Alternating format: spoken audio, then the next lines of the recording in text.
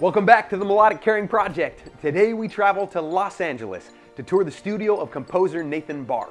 During this interview, it dawns on us this is so much more than a studio. It's a temple dedicated to the power of music. Take a walk with us and enjoy an incredible song dedicated to our rock stars and hospitals around the country.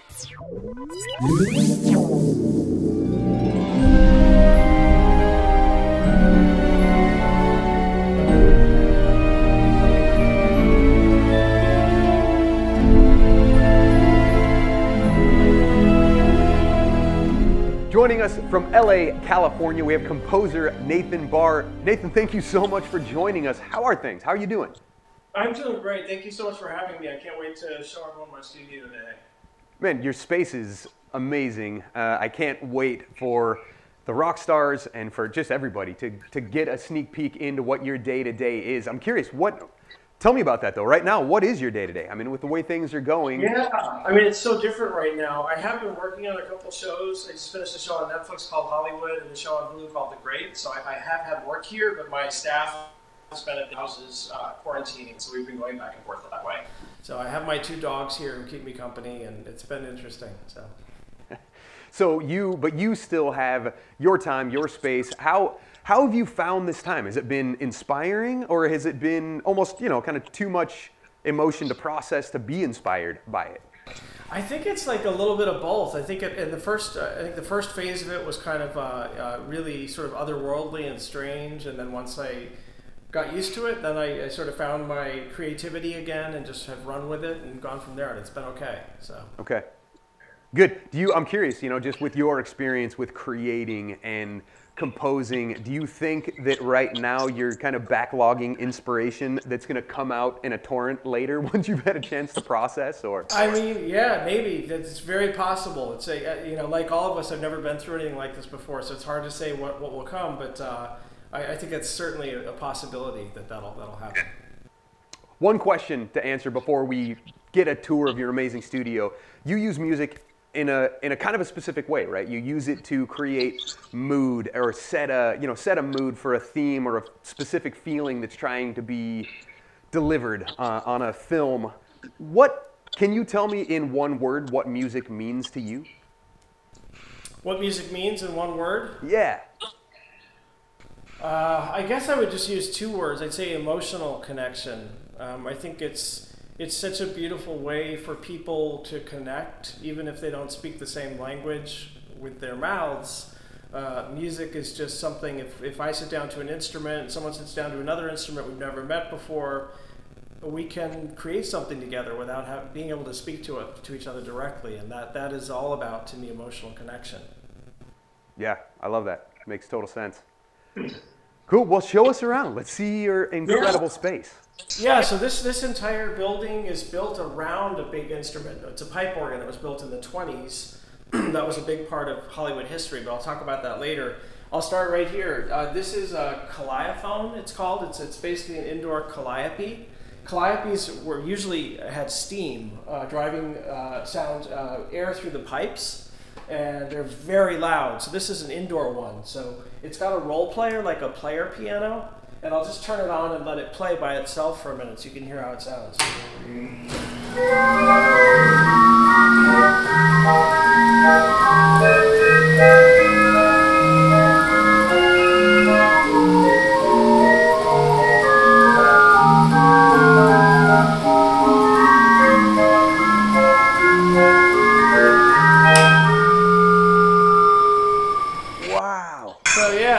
Got all these like really interesting. It's got um, if you want to maybe film it there, it's got 58 brass whistles, uh, and and air blows through as, as you play the key, and that creates a sound. And so it's it's got this really amazing sound. These were originally used on steamships back in the day to let people know that they were coming into town. So someone would be playing the keyboard, be super loud, and everyone would go, "Oh, the ferry's coming. We better go down to the go down to the shore." So that's like a special special instrument that I really like.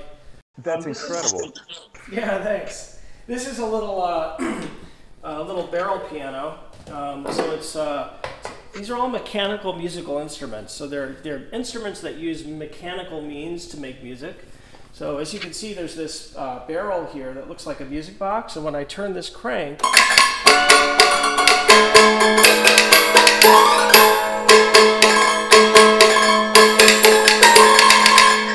Wrong season, but kind of an interesting sound. Uh, so yeah, that's that's uh, that's probably from the, the 50s or 60s, and uh, just another mechanical musical instrument. Um, this one this one is really special that I just got. Um, this is from 1790, so it's really old, and it's the same kind of technology. You've got all these little pins in this wooden barrel, and I basically have this really heavy weight here, and if I crank up the weight like that and then I trip it, it's going to sound a little funky. It's not feeling very well right now, but uh, if I if I go ahead and let it turn, you'll hear it'll make sound. It'll make music, kind of.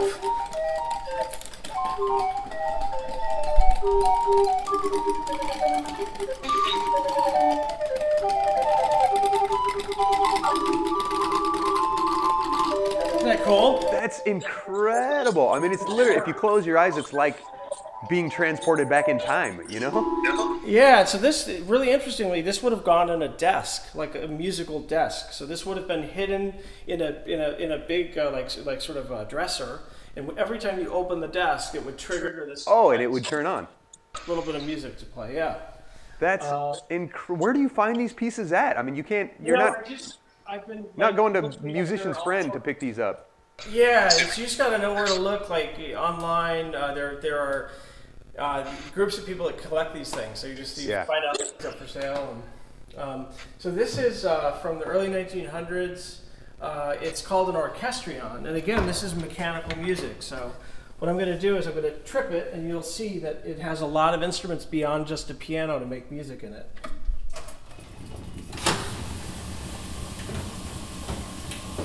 Take that off and see all the drums in there. Wow! Which is pretty amazing. So what I'll do now is.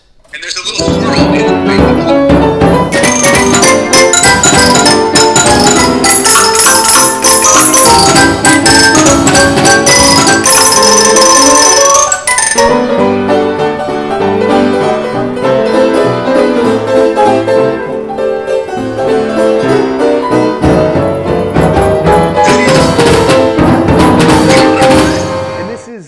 Same kind of concept as a player piano, where it has perforated paper drums to. Right? Exactly right. Yeah, exactly right. And it, this uses vacuum, so it uses suction to pull air through this system. And then every one of these cables goes to a different instrument. And they just got creative and said, well, why not do this to more than just a piano hammer? And so they, they added drums and stuff. Man, that's amazing. Now I feel like I have obviously completely undersold your space by calling it a studio. You have a museum and a studio and a. Yeah. So this is uh, so this is an instrument that Ben Franklin invented. Uh, it was his supposedly his favorite instrument, and I just absolutely love it. Um, it's called a glass harmonica. So if you think of the word harmonica, get rid of the H and armonica. And it's a series of crystal cups, and the pitch is determined by the size. But if I put water on my fingers, no way.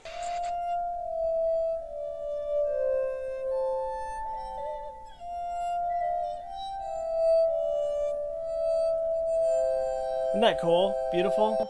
It's gorgeous. It's. Yeah. I mean, it makes me think of of the. Uh, like the sonic healing, the bowls, right? That you can use yeah, to create those frequencies and pitches. In, in, his day, it would have been pedaled, not not with a motor, but today we can use this silent motor, and um, some of them were quite big, and very few. This is not an original; it's a replica. The originals are very hard to find because they're so fragile over the centuries. They've they've been destroyed, but um, yeah, it's just a really special instrument. And Ben Franklin used to accompany his daughter, so he would play this at his daughter. That's incredible. Yeah. So I know, I know that at the beginning we said, you know, let's try to keep this around 20 minutes. Why don't we just yeah. take that and just throw that right out the window, and you just okay. give us the tour you want to give us, because this is unreal. Cool, cool. Um, so over here uh, we have an instrument called uh, nyckelharpa, uh, which is from Sweden, and it's a very old design a couple hundred years, maybe more. It's a keyed fiddle, basically. So if I play it, it sounds, it's got this beautiful sound to it.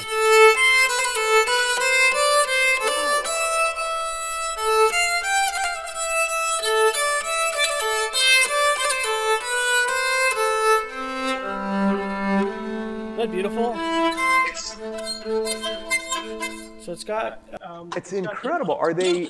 Is it the? Is it? Are they hammers then that you're keying? To, Yeah. So basically, there's an instrument I'm going to show you next called a hurdy-gurdy, and that instrument also employs these keys. And as you can see, when I press this wood key, it presses this dowel into the string, and that's how you do it. So instead of your finger touching the string,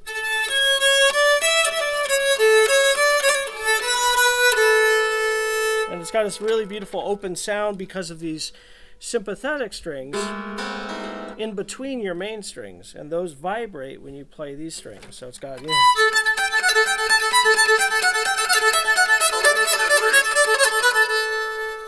Yeah. I can't decide if I'm more impressed that you have it or that you know how to play it, or maybe both, all at the same time.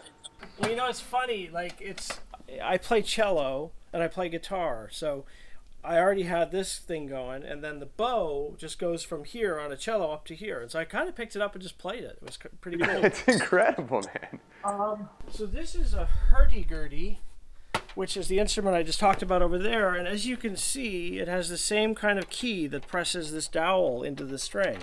It's the same tech technology. I like to say these were popular for like 10 seconds 500 years ago. Uh, you'll you'll recognize uh, it makes a sound a lot like a bagpipe. So you've got this drone. I turn this wheel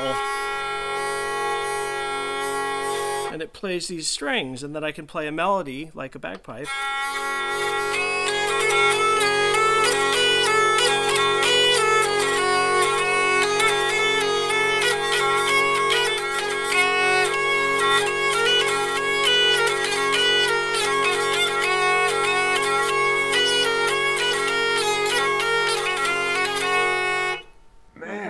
It just evokes such a feeling to it, you know? It's Yeah, it does. It totally does.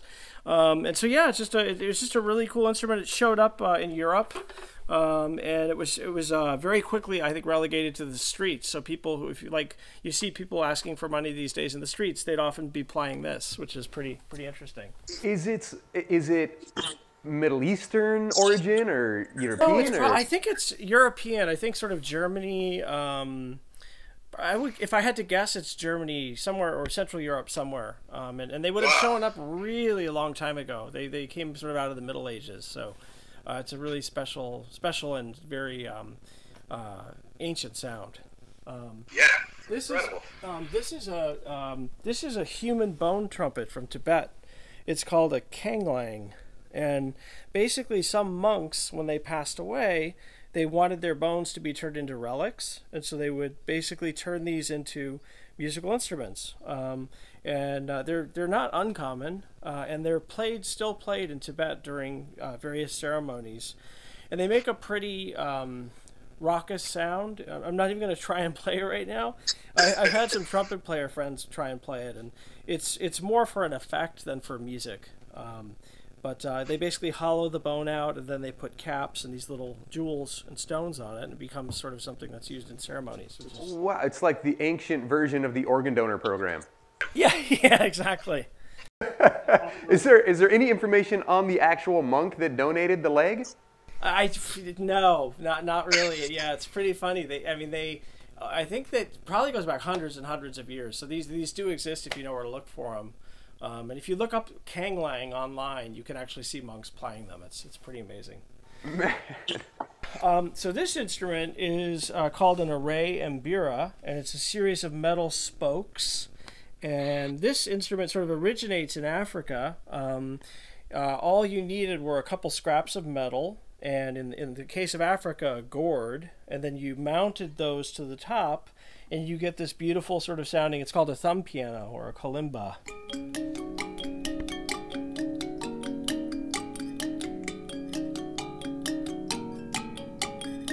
Isn't that cool? Incredible. So I have a kalimba, and it's I Oh, think you it's yeah. five tangs, right? I mean, it's I've never Yeah. seen one so big. So is that multiple keys then? It's not just in C. Yeah, you got, in, so you got basically four octaves. You got. So you've got these great bass notes, and you typically plug this one in. Uh, but yeah, it's got it, the, the people who really know how to play it. They can really make it sing. It's it's so beautiful. Wow. So that's then there's it has a pickup on it. You plug that in and It you does, can. yeah, it's got yeah, it's got a pickup under here, and then you've got these two outputs here, and so you can do a stereo, stereo image of it. And I put it on a desk because the desk acts as a resonator, so you can kind of get a little bit more volume when you're not plugged in. Got it. If I took it away, now listen. Yeah, got it, got it. So my kalimba has a little rice paper drum that it sits on, right? So like you say, it has a resonator built into it. Yeah, yeah, basically. So, um, so yeah, that's that. Uh, and then I've got um, a lot of sort of a wall of unusual. I recognize those, except for maybe the banjo-looking thing in the middle. Yeah, yeah.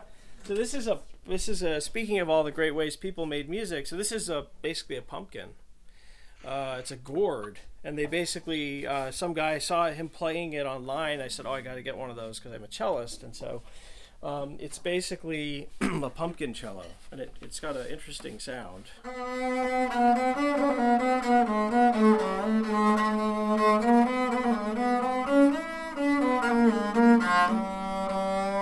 It's got kind of a you know very very um, uh, rustic sound, but it's cool. Yeah. That's super cool. So where uh, where Cinderella would turn a pumpkin into a carriage, this is your fairy godmother version. Yeah, of- yeah, exactly. I like that. Uh, this is a this is a bowed guitar. It's an electric guitar, and it has a really beautiful sound. And I use this a lot. I've used it in shows like The Americans and True Blood, and um, let's see here. So yeah, basically it's got.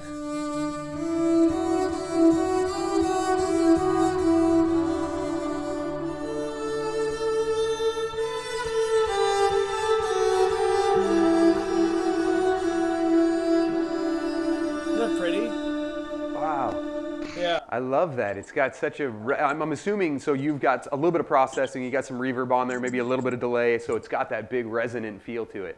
Exactly, and it, and it can do scary, it can do beautiful, it sort of does lots of different things, which is one of the things I like about it. So Uh, how? t- talk to me about. I mean, I'm- as you're on your way to your next spot, when you're doing music for True Blood or for you know one of these shows, do you watch the scene first and get a feel for okay, this is the feeling we need to evoke? Exactly, that's exactly what it is. Basically, um, music exists in film and television to help tell the story, and oftentimes it's used to help evoke whatever emotion the characters are feeling. And so, yeah, as a composer, I just grab one of these instruments and I watch the scene and I just start trying to plug into emotionally what's going on in the scene and then use these instruments to do that. So, I man, I love that. It's funny because you know I've talked to, I talk to people who swear that they don't really like music. You know, nah, I'm not really a music person or whatever. But the reality is, all you have to do is show them a movie and then take the music out of it and say, "Are you sure you're not a music person?" Because yeah, you know what I mean. Like it's it's so naked without that accompanying emotion that you provide to it. It would be it would be a really different experience. I get to see films before there's music in it and before there are sound effects in it, and without those two, it's a totally different experience. It's kind of probably half the experience of what you ultimately get once. Yeah. Once you add those elements. Right. So this is a, uh uh big uh, scoring stage. It's called. It's where we record music for movies and television, and so I get like a probably about a 50-piece orchestra in here. Um, and so I uh, let's see. I just did a film that comes out um, end of this year called Uncle Frank, uh, and we recorded a 30-piece orchestra in here, and it's got a really beautiful sound. So and it's Yeah. totally isolated from the outside. So it's it's, it's really cool. Um, so this is another instrument that again plays on that sort of idea of a hurdy-gurdy. This is an instrument that I uh, invented with the luthier. It's basically a five-string cello, um, but what makes it special is it has this little round wheel, again like the hurdy-gurdy, and when I press this pedal, it spins that wheel and makes a drone. Then I can play over the top.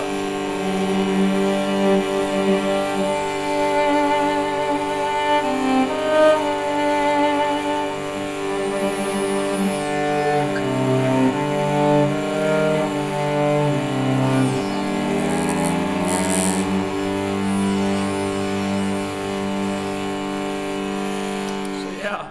That's unbelievable. Yeah, and it's it's a California black walnut. It's unusual wood for a cello, and then this little dude up here uh, was based on a walking stick head that we saw at the Louvre, and uh, he's like a little puck, you know, like a little horned kind of devil guy, and uh, we thought that'd be fun. So the the man who made this cello carved that out of wood.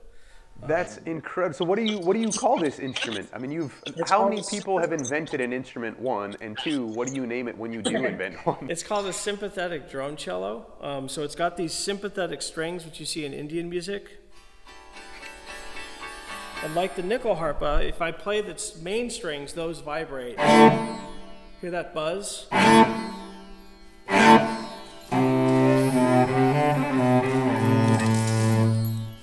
Yeah, then my little mascots just joined. This is Muppet.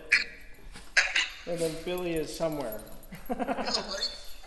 Anyhow, um, so yeah, so that's that's what this instrument's called, and it is a really special instrument. I've used this quite a bit. I just used it on a show at Amazon called Carnival Row, um, and then um, I've used it, yeah, sort of all over the place. Man, that's gorgeous. Is Thank you. are there are there other artists that are picking it up and playing it as well, or is you keeping Uh, this kind of in your own quiver? No, just in here, it's the only one in the world I know of that actually has a mechanical drone built into it. Um, so yeah, it's, it's pretty cool. Um, this is a upright piano that's currently on its back, and I sawed the keys off. So um, basically, um, this is the piano harp, and what it allows me to do is to get in here and play the actual strings without getting in the way of the keys and stuff. So I could do, you know, I could play it with pencils, and I can make sort of scarier sounds, or sort of more uh, pretty sounds. So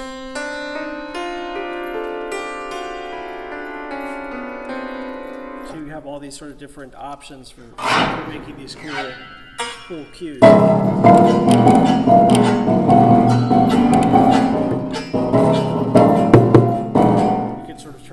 Its own instrument. That's incredible. So it's like it's like a kind of a big adapted hammer dulcimer in a way. Yeah, exactly. Absolutely. It's, it's, it's very much that. Um, we've had a lot of fun with that. It- that looks it, it looks and sounds like the main instrument in a in the horror soundtrack quiver. Oh, interesting. It's, it's, that big open kind of haunting tone to it. Yeah, totally.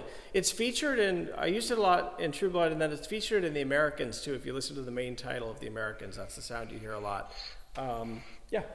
Uh, so these are really rare. They're called shaker chimes. They're built by a guy named J.C. Deagan in Chicago around 1900, and uh, they are basically wind chimes. So if you look at them, you know, you've got this bar here. So you've got these cool chimes, and then you can play them. They're laid out like a keyboard. So if you look here, two, three, two, three, those are your black keys. And then you've got uh, your white keys here.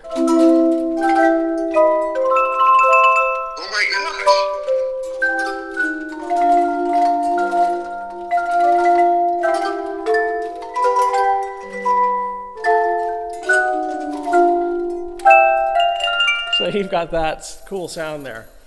Um, and they're, they're really, yeah, they're based, they're based on an Indonesian instrument called an angklung.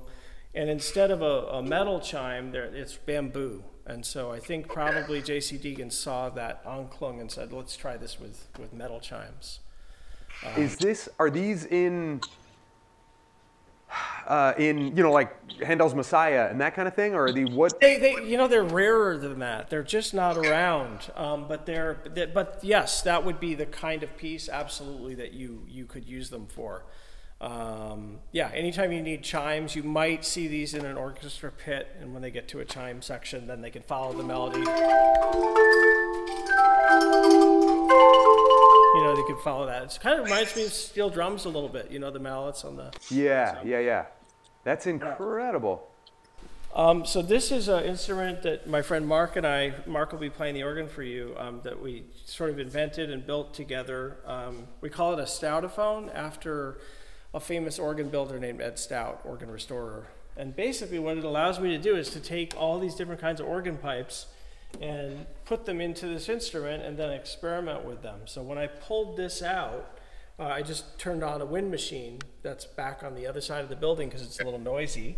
So this thing is filling up with wind right now. Back in the day, it's an, it would have been pedaled. We got rid of that. And so now I can make all these crazy sounds.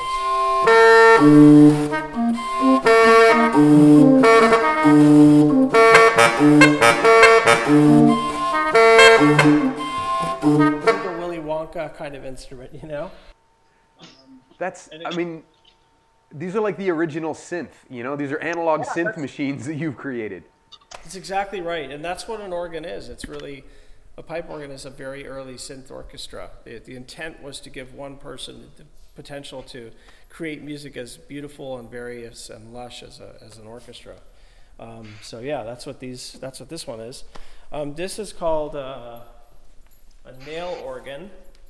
Um, so this is uh, basically the only thing that makes it an organ is it looks like organ pipes, but each one of these nails um, makes a pitch when you rub it. I put so I got this rosin here, which is like the rosin you put on a bow, but it's been crushed up, and so I put it on my fingers, and then when I rubbed these.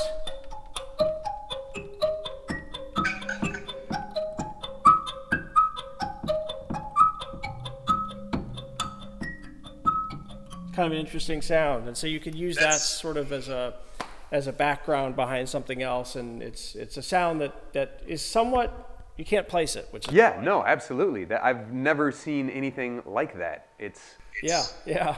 I can, but I can feel somebody sneaking up behind me while you play it. It's like that kind of, you know, tippy toeing yeah, behind. totally. So maybe I'll just really quickly show the upstairs, and then we can come back down. Yeah, sure. This over here is called uh, a street organ. Um, this is uh, again an instrument you often would have seen on a on a street corner. Someone would be turning the wheel, playing it, and then you'd see the little monkey, little basically the monkey grinder, going around for money. Um, but it is an organ, and it's got this book kind of like a player piano, but instead of a roll, it's it's a book. And I feed this in here, and then I turn this wheel, and this wheel pumps a bellows, and it pulls this across these keys in here. and Then it makes music.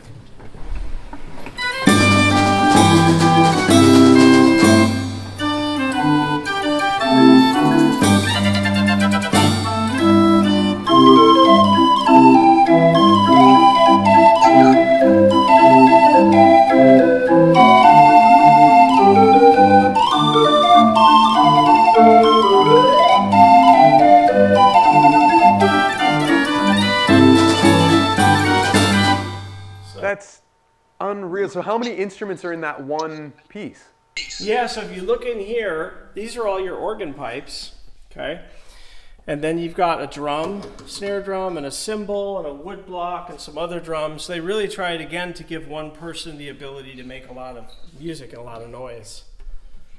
So it's a pretty cool, pretty cool instrument. That technology is super old. It's a couple hundred years old, probably. This idea of pulling these hold papers across this key it's made, uh, to make. Well, make- man, what I love about it is how old it is, and yet when you look at the paper, it looks like a MIDI path, right? Like it's it's It's exactly what it is. It's it's it's a piano roll page of your sequencer. You know what I mean? So So have you ever composed something specifically for one of these instruments, like your own thing? I have, and actually that one is outfitted with. I had when they built it, I asked them to put in a MIDI, uh, a, basically a MIDI unit, so I could actually sit at an electronic keyboard, my controller, and actually play that. No pretty- way. pretty amazing. Yeah, yeah, it's pretty cool. It's kind of weird because it's not chromatic. Um, the bottom end becomes diatonic or not even. You'll just get like C and then an F and a G. But it's it's really fun to play and really interesting. So I mean, is there anybody else? I've never I've never seen anybody doing what you're doing at your studio. Is this obviously it's very rare, but is can you think of anybody It's else? rare. I'd hate to say that I'm the only one doing it because there's so many you know interesting people out there doing interesting stuff. But it's definitely yeah, definitely I hear that a lot that this is like pretty unusual stuff and and that's it's fun. Um, this is from 1915. It's by the same guy who built the shaker chimes downstairs in Chicago. And it's basically a really loud xylophone. It's not working right now, or glockenspiel rather. It's not working right now, but these are your, your bars, and then these play, and there's a key, keyboard on the other side. And then this is something you would have put at a political rally or a fairground, and it, it is so deafeningly loud. You can hear it over a big crowd and make music.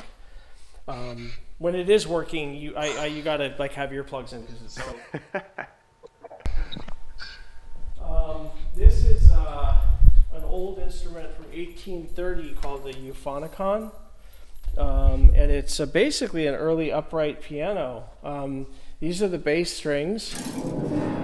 Uh, the guy just basically took the, the length of the bass strings, and obviously in a contemporary upright, as we know it, these bass strings are tilted this way, and then you build a box around it. So he just ran them up, let them be the length they are straight up, and then made this beautiful iron harp. And it weighs like 600 pounds. It's so heavy. But um, it's uh, it's got uh, it needs some restoration. But we've had some fun with it. Just Yeah, that's cool. You can do muting and kind of play it your own way, huh? Exactly. Um, this is the uh, this is some of the original crew from 1928 that built the pipe organ I'm about to show you next. So these are the actual guys that built it in the Wurlitzer factory in upstate New York. And let me take you down there now and show you that. So how long have you been collecting instruments for? Uh, you know, honestly, since I was really young, probably since I was nine or ten years old, and then it got more and more eclectic as I learned more and more about what was out there. Um, so I'm going to introduce you to my friend Mark now, who's, who's a wonderful organist, and he's going to play this very special instrument. If you've seen The Sound of Music, the movie, you've heard this instrument. Um, so this is Mark. Hi. Um, Hello. and and uh, this instrument here uh, was built in 1928, uh, and it was very. It's got a very long history in the movies. You will see um, Mark's hands flying around here, and every single sound you're going to hear is a real analog instrument. Um, uh, so, so if you hear something that sounds like a cymbal, it's really a cymbal, and I'm going to take you up and show you that stuff after. Um, Nathan, this tour has been amazing. The instruments are, it's fascinating, um, and I cannot wait to hear the organ. But before we hear it, is there uh, specific kids and hospitals you'd like to dedicate the, the performance to? Absolutely, yeah. I, I, I'd love. Um, this is a really special performance that Mark is going to do to show off the organ, and we'd love to dedicate this and send uh, love and hugs to Kaelyn and Parker in Washington, to Zachary in New Mexico, and then a little closer to home, the wonderful hospitals that are doing so much great work, especially now as we all go through this period. Kaiser Permanente, USC Medical Center, Joe DiMaggio Children's Hospital, and Harbor UCLA Medical Center. Thank you all so much for your incredible work. Uh, and this piece is something Mark has concocted. I think it's a, when was this written, Mark? Um, about 1950. 1950. I can't wait to hear it. So it's called Roller Coaster, so we have to start at the theme park.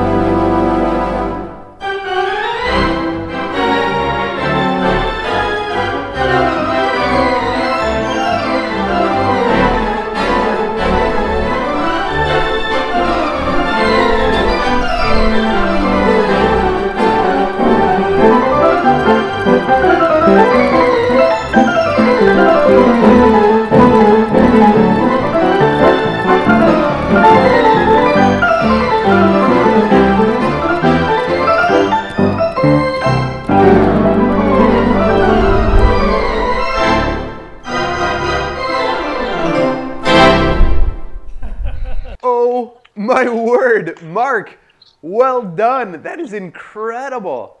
Hey, thank, you. And Mark, might just talk a little bit about how long you've been playing and when you started and. Uh, yeah, so I, I, ever since I was, you know, one or two years old, I was obsessed with anything with a keyboard. And, you know, with a piano and an organ has more keyboards, more buttons, more everything. So by the time I was seven, I was playing these things. And they are just so much fun because it's like playing an entire symphony orchestra live with just one person. So it can really go anywhere you want it to go. Yeah, and Mark is, uh, you know, Mark is um, being modest, but he really started, as he said, he started playing it when he was seven years old, and he was concertizing just a couple years later. So he, he really um, gravitated to this instrument immediately in a very special way that, that many of the players who play this do. It's really very unusual and, and incredible. No, it looks like something, like you say, I mean, if that's something that's kind of been a passion of yours for almost ever, you would have to feel very at home sitting in front of that instrument because it's incredibly intimidating. Yeah, there's a there's a lot of possibilities here. let me so so what we could do is let me take you upstairs now into the actual guts of the organ so you can see some of what's making this sound and Mark will stay down here at the keyboard and we can kind of show you what that yes, is. thank you. So then was Mark triggering the piano that's in the corner, right? He's Correct. Yes, and that so when you, when you look at a theater organ, you have to kind of expand your idea of what a pipe organ is. Um, because companies like Wurlitzer back in the early 1900s said, hey, we, we, we can make this a much bigger, cooler thing to help accompany silent films. So this organ takes up six rooms. So, so, so this is one of the rooms. Everything you see in here is from the 1920s. And this is all your wind lines, or all the wind is coming into these regulators which change the pressure and send it up to pipes above us. So right now, as I'm talking to you, we're standing under about 800 pipes. Um, and so all of these mechanics are original to the organ. And this organ is particularly special because it was, again, it was built for Fox Studios in 1928. So if you've seen The Sound of Music when she gets married, this is the organ you hear. Uh, it was used in, uh, John Williams has used it many times in Home Alone, Witches of Eastwick. Um, so it, has got a really rich history in Hollywood, and um, all the studios used to have one back in the day. Um, and this was really one of the only surviving ones as far as um, Hollywood studios go. So up these spiral stairs, uh, we're going to go into one of the coolest rooms of the organ, and this is I'm going to put this. Uh, sorry, I'm going to put those on Harry because it's very loud in here. Um, and so so right away, when most people see, they hear pipe organ, they don't picture this room. And if you look around here, you've got an actual marimba. Can you play the marimba, Mark?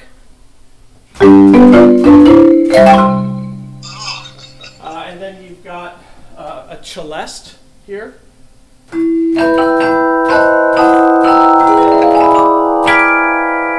then up there, you've got actual set of you know wind chimes which he can trigger from down there.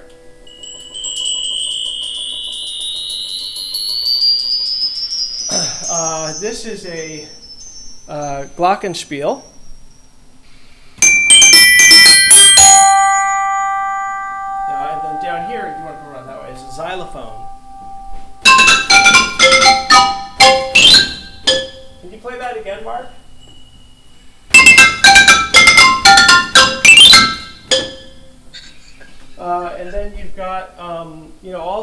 Effects which are so cool. Uh, you've got so if you were playing a silent film and you were do, you were you were doing a horse chase, uh, you have this actual these two things that look like coconuts, and you could play them as the organist and create the sound for the horse. And then you got an actual. So if you're being chased by the police in a great old Harold Lloyd film, you had this uh, whistle, police whistle, which you could do. And if the if the fire engine showed up, you had this. Ah! So you, when you hear that idea of bells and whistles, that's what it was. That's an actual slide whistle, which it'll fire. Um, so yeah, it's got sort of all these really cool instruments in it. Um, these are cathedral chimes here. With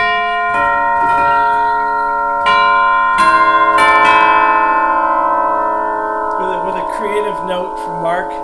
So this is the non-pipe part of the organ. And now we'll go in here and look at this. Look at these huge pipes. So these are some of these pipes are 12 feet tall. Some of them are taller.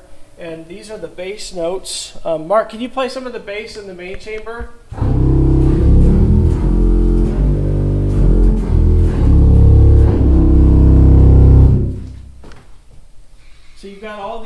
Amazing old pipes. Everything you see in here again was made by hand in 1928 at the factory in upstate New York. Can you play the sort of the tuba pipes?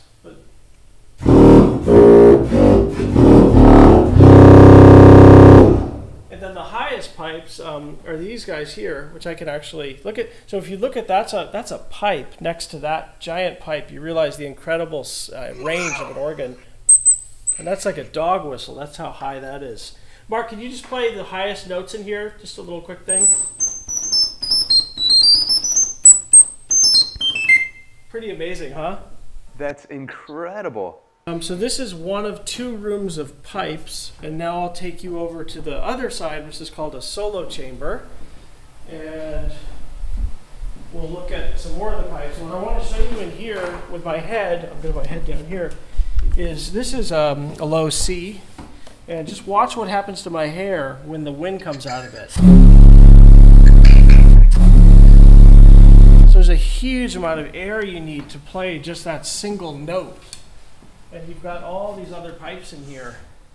This is called a tibia rank, this set of pipes. Um, you've got actual like saxophone pipes, trumpet pipes. So it's just a, it's like a, a mechanical wonder. It is. And these really exist. They the, basically companies like Wurlitzer took the idea of a church organ. They said, okay, what can we do to really help make an audience's experience watching a silent film even better. Like we discussed before, music is such an important part of it. So they took took the organ and said, all right, we're going to add all this stuff to it, put it in a movie theater, have an organist play live to silent film, and it's going to really make it a better experience, which it which it did. So. Cool. Wow! So this is the this is the type of organ that would have been set up in a silent movie theater type of thing, right? Correct. To create. Exactly. It's very specifically. It's called um, it's called a cinema organ or a or a theater organ. Um, and so that's, that's what's up here. Um, and it was used in the Addams Family. Last year, my friends um, Jeff, uh, Jeff Danna and uh, Mike Danna used it up there. And then there's another composer named Danny Elfman who used it in The Grinch two years ago. And then I used it um, in, a, in a film called The House with the Clock in Its Walls. So we're getting it right back into film where it belongs. And this is the, this is the computer system where it uh, which, which is basically what allows the keyboard to talk to each of the pipes. Every one of these little cables goes up into this bundle, and at the end of that cable is a pipe or a, or a mallet or something. wow, where did you, where did you transport this from, and how? What was the process to get it to where it's at? Yeah, so it was a really long, crazy process. Um, it was installed in 28 in Fox. It was pulled out in about 97, 98. Uh, and then I went ahead and um, bought it from the gentleman who took his family took care of it for years when it was at Fox Studios. So I bought it from him, and it was a five-year restoration.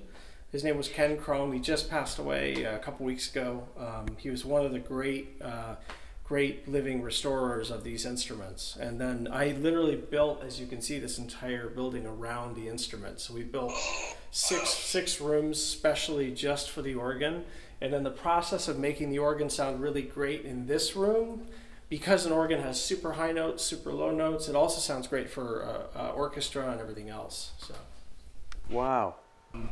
Yeah, so that's that's kind of the nickel tour. Man, I it's it's honestly stunning and kind of staggering. It's hard to take it all in. You know, I mean, you've created a music citadel. It's like, you know, it's like, it's it is like a tribute to the the beauty and the power and the passion of music you know i it, it is and, and like the the ingenuity and the minds that went into like how can we make music mechanically how can we give one person even a bigger palette to play with it's just like the the genius of the minds that that created all these instruments is it's just so special especially culminating in the pipe organ so incredible. I have a super important question to ask in relation to all of yes. that. Do you have a guest bedroom? Because I really want to come Nice. down and I, spend some time. I have time. two couches. I have two couches. You're welcome to either one upstairs. So. Man, it's it is really amazing. Thank you so much for just taking the time to kind of show us around your world and uh, and you know bring some of these kids that don't have the opportunity to get into a space like that and walk them through it because it's magical. Yeah, I'm so glad. I'm, I'm really happy to share it. I love that. I built this place not to keep it for myself, but so people could come in and really experience it. So this is exactly the, the kind of thing that I love to do. So thanks. Thanks for thinking of me. Thank you. Are, are there any final words you want to leave, you know, kind of with the world as we're going through all this? Yeah, I mean, I just think like one of the one of the great things that has come out of this whole quarantine around the world is seeing all the the incredible creative energy people have put into um, bringing a smile to people's faces, whether it's orchestras broken up into their individual homes, making music together, um, or uh, people writing spe- special things just for this time period. I love seeing that creative force come through the sort of inherent uh, tragedy of, of what's going on and, and, and uh, bringing, lifting the human spirit. So it's, it's been really great.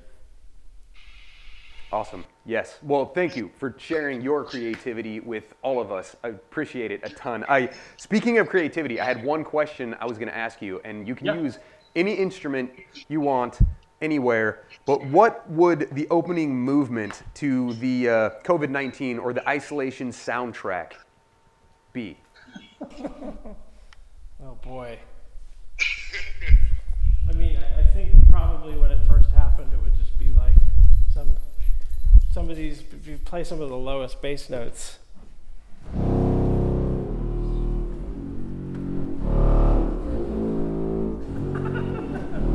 It's kind of a humorous spin on this, but uh, yeah, let's keep it light and happy.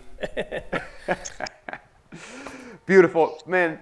Nathan, thank you so much. Yeah, really, absolutely. really My appreciate pleasure. it. Truly my pleasure. Thank you all so much for joining us. If you or someone you know is battling illness and needs support, you are not alone. Sign up today at melodiccaring.org. And a huge thank you to all our first responders and healthcare providers working so hard during this COVID 19 crisis. We appreciate you. I'm Levi Ware. This is the Melodic Caring Project.